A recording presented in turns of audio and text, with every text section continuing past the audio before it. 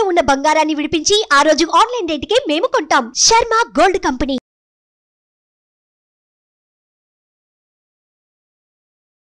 నమస్కారం. సుమన్ టీవీకి స్వాగతం. వారాహి దీక్ష అనేది ఎవరు చేసుకోవాలి? వారాహి అమ్మవారి యొక్క విశిష్టత ఏంటి? ఈ దీక్ష నియమాలు ఏ రకంగా ఉంటాయి? ఈ విషయాన్ని తెలియజేసేందుకు మనతో పాటు ఉన్నారు శ్రీచక్రపీఠ వ్యవస్థాపకులు ప్రముఖ జ్యోతిష్య శాస్త్ర పండితులు ప్రదీప్ జోషి గారు. గురుగారు నమస్కారం. శ్రీమాత్రే గురుగారు గురు పౌర్ణమి యొక్క ప్రత్యేకత ఏంటి? ఏంటి ఈరోజు చేయాల్సిన పనులు ఏంటి అసలు ఎటువంటి నియమాలను పాటించాలి గురు పౌర్ణమి ఎందుకు చేసుకుంటాం మనం? వ్యాసాయ భవనాశాయ శ్రీశాయ గుణరాశయే రుద్యాయ శుద్ధ విద్యాయ మధ్వాయ చ నమో నమ. పూజ్యాయ రాఘవేంద్రాయ సత్యధర్మరథాయ చ భజతాం కల్పవృక్షాయ నమతాం కామధేనవే. నేను హిందువులందరికీ చెప్పేది ఏంటంటే బొట్టు పెట్టుకునే హిందువులందరూ నేను హిందువుని అని గర్వంగా చెప్పుకునే వారందరికీ చెప్పేది ఏంటంటే ఈ గురు పౌర్ణమిని గురు పౌర్ణమి అంటే అర్థం ఏమిటి అంటే మీ అందరికీ చెప్తున్నాను ఇది వ్యాస పౌర్ణమి. గురు పౌర్ణమి ఏంటంటే వ్యాస వ్యాస పౌర్ణమి. ఇంకా వేరే ఏ పౌర్ణమి కాదు. వ్యాస పౌర్ణమి. అంటే ఈ పౌర్ణమి రోజు మనము తరించవలసింది పూజించవలసింది వ్యాస భగవానుల వారిని. అదేవిధంగా పూజ్యశ్రీ దత్తాత్రేయ స్వామి వారిని.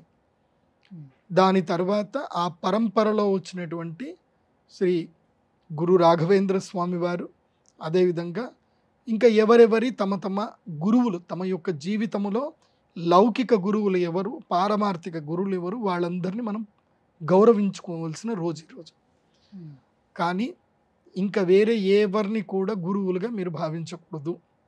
ముఖ్యంగా హిందువులు నేను చెప్తున్నాను మీరు పొరబడిపోతున్నారు. గురువు అంటే గుకారో అంధకారశ్చ త్రుకారస్తన్నివారక అంటే మనకి అజ్ఞానం అనేటువంటి చీకటిని పారద్రోలి మనకు జ్ఞానం అనేటువంటి శక్తిని ప్రసాదించేవాడే మనకు గురువు. వరాలిచ్చి ఇది వరాలు ఇవ్వడము ఇంకా నిన్ను లోపల పాడేయడం ఇంకా. మనకి ఎంత కోరికలు మనకు కలుగుతూ ఉంటే మనకి ఎన్ని కోరికలు తీరుతూ ఉంటే మనం ఏమవుతాము అంటే అంత సంసారంలో ఇరుక్కుపోతాం. అంత మోహాంధకారంలో ఇరుక్కుపోతాం. అలా మోహాంధకారంలో పాడేసేవాడు గురువు కాదు. నీకేం కోరికల్ని దాన్ని నేను తీరుస్తా అంటే వాడు గురువు కాదు. నీకు జీవితంలో ఏది కావాలో అది నేను ఇస్తాను అని చెప్పేవాడే గురువు. అలాంటి వారు పూజ్యశ్రీ గురు రాఘవేంద్ర స్వామి వారు.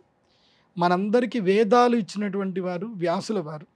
వేదతత్వము జ్ఞానతత్వము పురాణాలు మహాభారతము అలాగే రామాయణం అనేటువంటి మహాకావ్యాన్ని ఇచ్చినటువంటి వాల్మీకి వారు వీరందరూ కూడా మనకి గురువులు.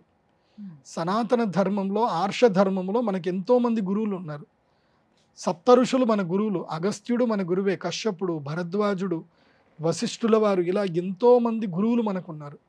అందులోనూ గురువులందరికీ ఆది గురువు ఎవరు అంటే జ్ఞానం మాహేశ్వరాదిచ్చేది శివుడే మనకి ఆది గురువు దక్షిణామూర్తి మనకి ఆది గురువు. మనకి శివుడిని మించిన దేవుడు ఎవరన్నా ఉన్నారా? శివుడిని మించిన గురువు ఎవరన్నా ఉన్నారా అంటే ఎవరూ లేరు. శివుడే ఆది గురువు. అలాంటి శివాలయానికి వెళ్ళండి ఈ యొక్క గురు పౌర్ణమి రోజున.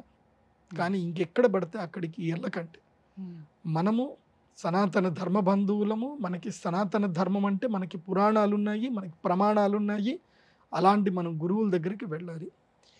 ఆషాఢ పౌర్ణమి రోజు చేయవలసిన మొట్టమొదటి నియమం ఏంటి? చెప్తాను జాగ్రత్త వినండి. ప్రతి ఒక్కరూ ఉదయాన్నే లేచి తలంటు స్నానం చేయాలి. చేసిన తర్వాత మీకు ఈ జీవితాన్ని ప్రసాదించిన మొట్టమొదటి గురువు ఉన్నారు. జీవితాన్ని ప్రసాదించిన ఒక మొట్టమొదటి గురువు. ఆవిడ ఎవరు అంటే మీ అమ్మగారు. మొట్టమొదటిగా మీ అమ్మ కాళ్ళకు దండం పెట్టండి. పొద్దున్నే స్నానం చేసి మీ పూజ అంతా అయిపోయిన తర్వాత మీ అమ్మగారి కాళ్ళకు దండం పెట్టండి. తర్వాత రెండవ గురువు మీ నాన్నగారు. మీ నాన్నగారికి దండం పెట్టండి. అందుకే సనాతన ధర్మంలో ఏం చెప్తారు అంటే మాతృదేవోభవ పితృదేవోభవ అని చెప్పారు. తల్లిదండ్రుల్ని గౌరవించినటువంటి వాడు నువ్వు ఎంత పెద్ద గుడి కట్టియు ఎన్ని దాన ధర్మాలు చేయు ఏవైనా చేయు అన్ని బూడిదను పోసిన పన్నీర్లాగా అయిపోతుంది. వేస్ట్. అమ్మా నాన్నకి మొట్టమొదటిగా రోజు పొద్దున్న లేవగానే దండం పెట్టాలి. వీలైతే కాళ్ళు కడగండి. అమ్మా నాన్నకి కాళ్ళు కడగండి. వాళ్ళ కాళ్ళు కడిగి ఆ నిత్ నిత్మీన మీద చల్లుకోండి మా నా- అమ్మ మా నాన్న నాకు ఆస్తి రాసే లేదండి. మా నాన్నకి ఎట్లా దండం పెట్టాలి? ఈ ఆలోచనలు వద్దు. ఇవన్నీ లౌకికం. మీ నాన్న ఆస్తి రాసి ఇచ్చిందా లేదా? మీ అమ్మ నీకు ఆస్తి ఇచ్చిందా లేదా? ఇవన్నీ లౌకికం. మీ అమ్మ నాన్నతో నీకు ఏ గొడవలు ఉన్నా ఆషాఢ పౌర్ణమి రోజు వాళ్ళ దగ్గరికి పోవాలి కాళ్ళు గడగాలి దండం పెట్టాలి. వాళ్ళు నీకు ఎంత ద్రోహం చేసిందో నీకు ఎంత ఫీలింగ్ ఉన్నా వాళ్ళ కాళ్ళు గడిగి దండం పెట్టాలి. ఇది నియమం. ఇది పౌర్ణమి రోజున ఆషాఢ శుద్ధ పౌర్ణమి రోజున ఇది నియమం. మీరు ఆ పని చేయండి. వాళ్ళకి మీరు మీ మీద ఎంత కోపం ఉన్నా ఒక్కరోజు టక్కన ఎగిరిపోతుంది చూడండి. తల్లిదండ్రులకి అయితే పోతుంది. ఎన్ని కోపాలున్నా ఏదున్నా తల్లిదండ్రుల మీద ద్వేషం పెట్టుకోకూడదు. ఇది బాగా గుర్తుపెట్టుకోండి. ఇది మొట్టమొదటి ప్రధాన సూత్రం. ఆ తర్వాత మీకు విద్య నేర్పించిన గురువు ఉన్నారు. ఇవాళ ఆషాఢ పౌర్ణమి తప్పకుండా మీకు విద్య నేర్పించిన గురువు అంటే లౌకిక విద్యలు నేర్పించిన గురువులు ఎవరున్నా సరే వాళ్ళ దగ్గరికి వెళ్ళి వాళ్ళకి ఒక కండువ ఒక మంచి ధోతి లేదా ఒక ప్యాంటు షర్టు క్లాత్ ఏదైనా మంచిది తీసుకొని వెళ్ళి ఇవ్వండి. కొంతమంది ఏం చేస్తారంటే వెళ్ళేటప్పుడు ఇట్లాంటి శాలువలు తీసుకొని వెళ్ళి ఇస్తారు. ఈ శాలువలు చలి ఆపవు. ఏంది? చలి ఆపవు తుడుచుకోవడానికి పని చేయవు దేనికి పనికిరావు? మెరిసే శాలువలు ఇవ్వకండి. అవన్నీ ఫోటోలు దిగడానికి తప్ప పనికిరావు. మెరిసే శాలువలు కప్పకండి. మంచి కాటన్వి కశ్మీర్ శాలువలు దొరుకుతాయి. అలాంటి శాలువలు కప్పండి. అవి చలాపుతాయి కనీసం. అవి ఎప్పుడైనా అవసరం పడితే నీకు చుట్టుకోవడానికి కప్పుకోవడానికి పని చేస్తాయి. సో. కశ్మీర్ శాలువలు కప్పండి. తప్పకుండా ఒక ధోతి కండువ వాళ్ళ భార్యకి ఒక చీర ఇవి ప్రతి ఒక్కరు వెళ్ళి ఇవ్వాల్సిందే. మీరు టెన్త్ క్లాస్ పాస్ అయిన వాళ్ళందరికీ చెప్తున్నాను. టెన్త్ లోపల ఉండేటువంటి వాళ్ళకి అవసరం లేదు. అంటే వాళ్ళకి అంత శక్తి ఉండదు. ఉన్నా ఇవ్వండి. టెన్త్ క్లాస్ పాస్ అయిన ప్రతి ఒక్కరు కూడా తమకి పదో తరగతి పాస్ అయిన గురువులు ఎవరైతే ఉన్నారో అక్కడ వాళ్ళని వెతుక్కుంటూ వెళ్ళి వాళ్ళకి ఇవ్వండి.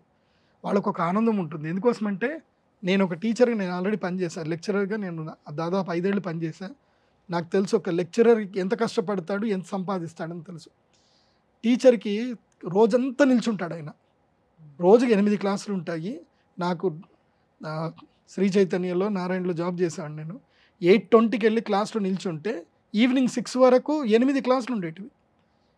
మొత్తం పదహారు సెక్షన్లు ఎనిమిది క్లాసులు. అంటే వారంలో మూడు రోజులు కొన్ని సెక్షన్లు మూడు రోజులు కొన్ని సెక్షన్లు చెప్పాలి. ఇంగ్లీష్ టీచరు నేను ఇద్దరం మేమిద్దరంకి మేమిద్దరం క్లాస్ ఎక్స్చేంజ్ చేసుకుంటాం అన్నట్టు. మమ్మల్ని ఇద్దరు మొగుడు పెళ్ళాలనేవాడు క్లాస్. మొత్తం మీరిద్దరు మొగుడు పెళ్ళలాగా క్లాసులు పంచుకుంటారని చెప్పి. ఎనిమిది గంటలు నిల్చుంటే ఆ క్లాసులు చెప్పినాక ఇంటికి వెళ్ళి పడుకుంటే అసలు ఎట్లా నిద్ర వచ్చేదో గొంతంతా నొప్పిలేసేది. అలాంటిది ఒక టీచర్ కష్టం అర్థం చేసుకోండి. మళ్ళీ శాలరీ చూస్తే నెల తిరిగేసరికి ఒక పన్నెండు వేలు వచ్చేటివి. దాంట్లో అద్దె కాస్త ఐదు వేలు ఎగిరిపోయేది ఏడు వేలు శాలరీ మిగిలేది. దాంట్లో బైక్ ఈఎంఐ కాస్త నాలుగు వేలు ఎగిరిపోయేది ఇంకో నాలుగు వేలు ఉండేటివి. ఆ నాలుగు వేలతోటి కూరగాయలు కొనుక్కొని తినేది. మళ్ళీ నెల అయ్యేసరికి అయిపోయేది. తీరా ఏం సాటిస్ఫాక్షన్ ఉందిరా అంటే స్టూడెంట్స్ వాళ్ళందరూ సార్ అని ప్రేమగా ఒక గౌరవంగా మాట్లాడిస్తారు కదా అది అదే ఎనర్జీ. నిజం చెప్పాలంటే అంతకు మించిన ఎనర్జీ ఏముండదు ఆ స్టూడెంట్ టీచర్ రిలేషన్షిప్ అనేది అది చాలా అద్భుతమైన రిలేషన్షిప్. అది ఒక ఆనందాన్ని ఇస్తుంది. రేపు వాళ్ళు పాస్ అయిన తర్వాత సార్ నేను పాస్ అయ్యానని. ఇప్పుడు నా అప్పుడు నా స్టూడెంట్స్ అందరూ ఇప్పుడు అందరూ ఒకడు పొలిటీషియన్ అయిపోయాడు ఒకడు మైనింగ్ బిజినెస్ చేస్తున్నాడు ఒకడు అమెరికా వెళ్ళాడు ఒకడు గూగుల్లో జాబ్ చేస్తున్నాడు ఒకడు సాఫ్ట్వేర్ కంపెనీ పెట్టాడు. ఎంత ఆనందం ఉందో ఇప్పుడు అంతా నా స్టూడెంట్స్ అందరు బాగున్నారంటే. ఉమ్. సో ఒక టీచర్కి వచ్చే ఆనందం ఏంటంటే మీ సక్సెస్ మీరు ఇచ్చే డబ్బులు కాదు.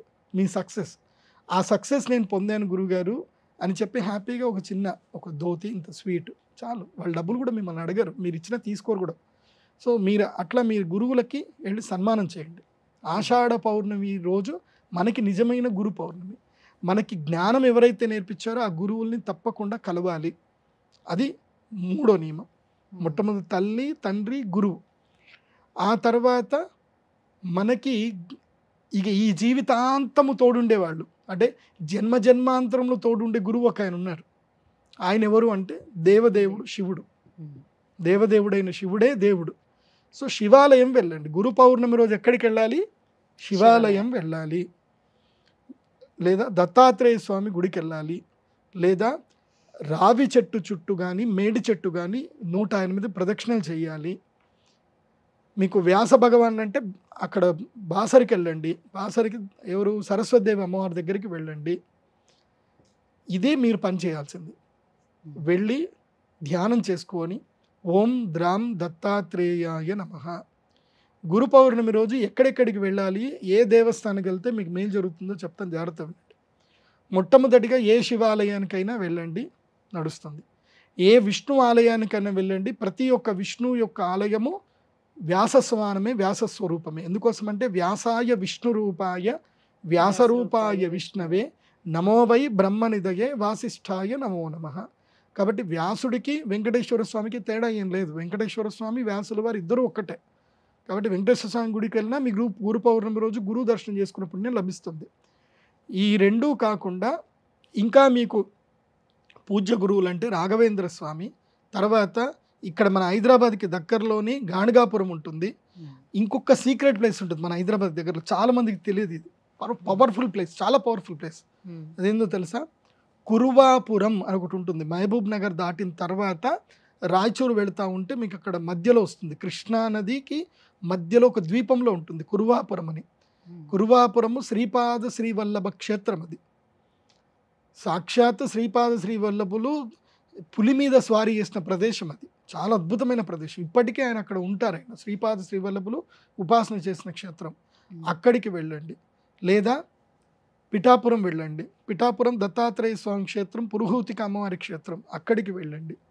సో పంచారామంలో ఏ క్షేత్రమైనా దర్శించండి. ఇవి మనము హిందువులు దర్శించవలసిన క్షేత్రములు దేవాలయాలు.